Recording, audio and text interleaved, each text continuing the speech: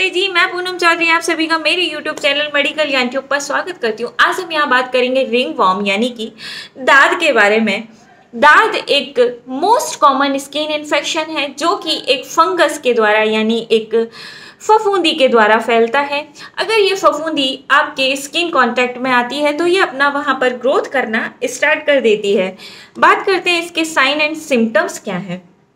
तो इसका sign and symptoms होते हैं कि जब ये फफूंदी आपकी स्किन पर आती है तो ये छोटी सेप से अपना ग्रोथ करना स्टार्ट करती है धीरे धीरे ये बढ़ती हुई जाती है और ये बहुत जल्दी एक दूसरे में फैल जाती है। जिस पार्ट में आपको दाद होगा, वहाँ बहुत ज़्यादा खुजली होगी ड्राइनेस होगी, खिंचाव आपको महसूस होगा और ये धीरे धीरे टाइम के साथ अपने आप की सेप को बढ़ाते हुए जाते हैं। उसके अलावा दाद के किनारे जो हैं, वो उभरे हुए हल्के गुलाबी या लाल रंग के दिखाई दे जिस बॉडी पार्ट में दाद होता है, वहाँ पर हेयर फॉल यानी कि बाल झड़ना स्टार्ट हो जाते हैं। बात करते हैं कि ये किस तरीके से फैलता है। तो ये डायरेक्ट कांटेक्ट की वजह से फैलता है। अगर आपको यहाँ पर दाद है, आपने खुजली किया और उसके बाद में आपने यहाँ खुजली कर दिया तो ये जो फंगस है, ये यहाँ से उठकर यहाँ चला गया और यहाँ पर अपना ग्रोथ स्टार्ट कर देगा। उसके अलावा अगर दूसरा कोई व्यक्ति अफेक्टेड व्यक्ति के कांटेक्ट में आता है डायरेक्टली तो वो फंगस उसकी बॉडी पर बॉडी पार्ट पर ट्रांसफ़र हो जाता है और वहीं पर अपना ग्रोथ करना स्टार्ट कर देता है। उसके अलावा एनिमल्स से फैल सकता है, यानी कि घर में जो कुत्ते, बिल्ली, भेड़, बकरी, भैंस, गाय होते हैं, उनको हम सहलाते हैं या फिर उनके कांटेक्ट में आते हैं। अगर उनको ये रिंग वॉम इन्फेक्शन है तो वो फंगस, जब आपने पेट्स को टच किया, एनिमल्स को टच किया तो आपके हाथ में या फिर आपकी बॉडी पर आ जाएँगे और जब आप बिना धोए अपने शरीर में कहीं भी टच करेंगे तो वो फंगस वहीं रह जाएगा और अपना ग्रोथ करना स्टार्ट कर देगा। बात करते हैं प्रिवेंशन, यानी कि कैसे बचें इससे। तो आपको किसी भी तरीके से जिस व्यक्ति को अगर दाद है तो उसके डायरेक्ट कांटेक्ट में नहीं आना है। हर किसी का आपको पर्सनल आइटम यूज़ नहीं करना है, जैसे तकिया है, रुमाल है, चश्मा है, कंगा है ब्रश है हेयर ब्रश है, कंगा है, क्योंकि मोस्टली ये सर में भी बहुत होता है। तो जब आप किसी का कंघा यूज़ करेंगे तो उस कंडीशन में वो फंगस आपके सर पर चली जाएगी और ग्रोथ करना स्टार्ट कर देगी।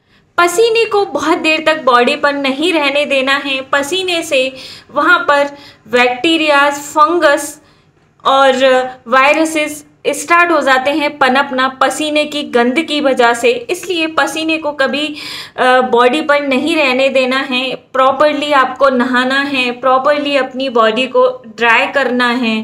बात करते हैं इसके ट्रीटमेंट के बारे में। इसके लिए ट्रीटमेंट, जैसा कि ये एक फंगल इन्फेक्शन है तो इसके लिए ट्रीटमेंट जो होता है वो एंटी फंगल मेडिसिन होती हैं, जिसके अंदर लोसन आते हैं क्रीम आती हैं और टैबलेट फॉर्म में आते हैं। बात करते हैं कौन कौन से मेडिसिन या फिर लोशंस आप यूज़ कर सकते हैं। तो जैसे कैटाकोनाजोल मिकोनाजोल क्लोट्रीमाजोल इस तरीके के ये लोशंस आते हैं जो मेडिकल पे आपको मिल जाते हैं।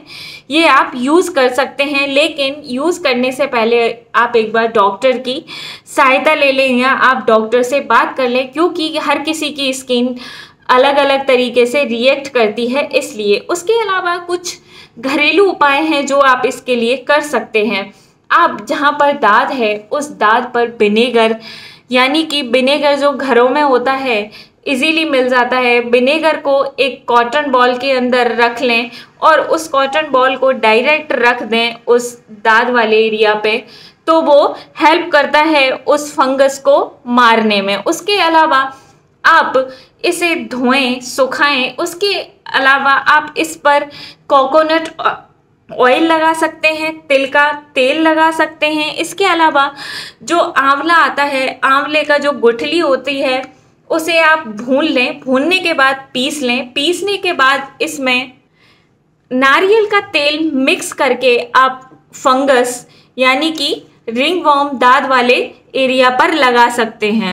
रात भर के लिए आप इसे धोकर इस पर एलोवेरा जेल लगाकर छोड़ दीजिए। सुबह इसे धो लीजिए। हल्दी। हल्दी एंटी फंगल उसके अंदर प्रॉपर्टी होती है तो आप हल्दी लें थोड़ी सी उसे पानी में मिलाएँ, एक गाढ़ा पेस्ट बनाएँ और उसे जो दाद वाला एरिया है, उस पर लगाएँ और सूखने तक छोड़ दें। जब वो सूख जाए, अपने आप को पपड़ी जैसी सेप में ले आए तो उसे हटाकर वॉश कर लें। ये सब आपके लिए बहुत ही हेल्पफुल रहेंगे। तो वीडियो को लाइक करना शेयर करना कमेंट करना। अगर आपको इसके अलावा किसी भी हेल्थ रिलेटेड टॉपिक पर डिज़ीज़ पर कोई भी डिस्कस करना है, कोई भी चीज़ पूछनी है, किसी चीज़ पर वीडियो चाहिए तो प्लीज़ वे बेझिझक कमेंट कर दीजिए। आपको इस पर ज़रूर वीडियो मिलेगा। मेरे चैनल को विज़िट कीजिए। बहुत ही इन्फॉर्मेटिव वीडियोज़ हैं वहाँ पर। एंड सब्सक्राइब करना बिल्कुल भी ना भूलें।